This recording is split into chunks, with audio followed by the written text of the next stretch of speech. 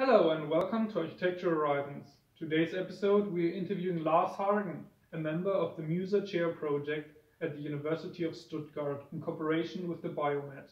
So first, thank you for being with us here today. Gladly. So to start off, what were your reasons for developing a biocomposite chair? Uh, there were multiple, but first of all, biocomposites are mostly used in small-scale projects and small-scale construction, and we just wanted to see if we could take the next step and make it more accessible and scalable just to be used in bigger projects and classic architecture as we all know it. So what made you choose banana fibers as your primary building material? Because it's not so common. Yes, of course. I mean, we did various tests and a lot of research and compared many different fibers, reaching from flax and hemp uh, up to banana and pineapple and many others. And if you just go by strength and durability, actually it would be pineapple, which is the best fiber to use. But if you take the cost performance ratio into consideration, it's banana fibers. So if you want to build something that's bigger and you just want to upscale everything, you should use banana fibers in your project. And there are actually some companies which are already fabricating banana fibers in a very good way, which is both socially as well as economically friendly. So I'm glad you mentioned this since we prepared a little video clip for our viewers at home of the production process of the banana fibers. So watch this. Dem ganzen Kontext, wie das, das angebaut wird, nicht in einer Monokultur, sondern eben in einer Permakultur, das trägt alles dazu bei, dass wir gefunden haben, das hat Potenzial.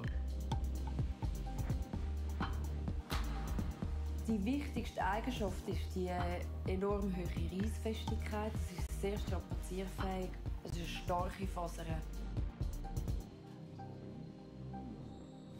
Das Material, das wir jetzt entwickelt haben, Bananentext, das ist eine Konsequenz von unserem Denken. Der grosse Teil des Materials, das für die Taschen verwendet wird, ist voll Erdöl basiert und mit dem wollen wir eine echte Alternative bieten. 是油脂，整油脂把它分切，然后把它碾砂，然后再把它制成布。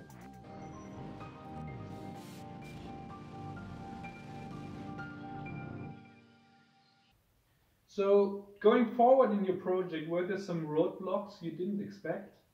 Yes, of course. As I said before, we wanted to make the chair as ecologically and economically friendly as possible, which in translation pretty much means it should be both cheap and bio-based.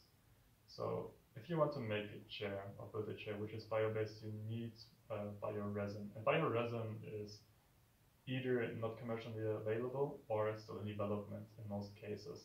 So we had to ask around a lot and find an institution which could supply for us. And thankfully we found the Fraunhofer institution, which uh, actually has a bioresin in development or, or had a bioresin in development for quite a while already. And this bioresin is both biodegradable as well as solvent free and it's very durable as well. And this bioresin is very advantageous for our project since we had to build it at home, since it is curing at 40 degrees Celsius already, not like many others which have a very high temperature. On top of that, it is 86% bio-based uh, due to exchanging the hardener with um, ecologically friendly version. And just for context, uh, resin is said to be bio-based. The moment it's 35% or more bio percentage. So as a result of it, where did your initial design choice come from as a result of uh, these various fabrication advantages you you got in using this resin?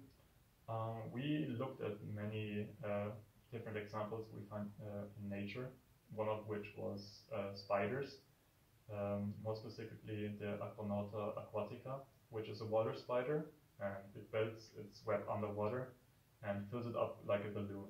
So we laid down our fibers in a similar fashion, and then we blew up a little structure underneath to give it a shape or form work to say.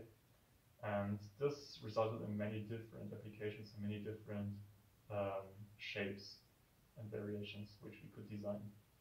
So thank you for being with us here today and also a big thank you to everyone watching at home. Now we've got some exclusive footage and some insights into the previously said chair uh, Lars is sitting on, and then we're going to go into our commercial break. So thank you for watching.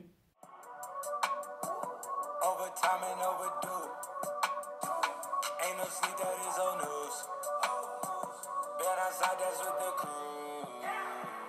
Make my night up on a move. In the morning, get the news. She come home, I heard the Zoom.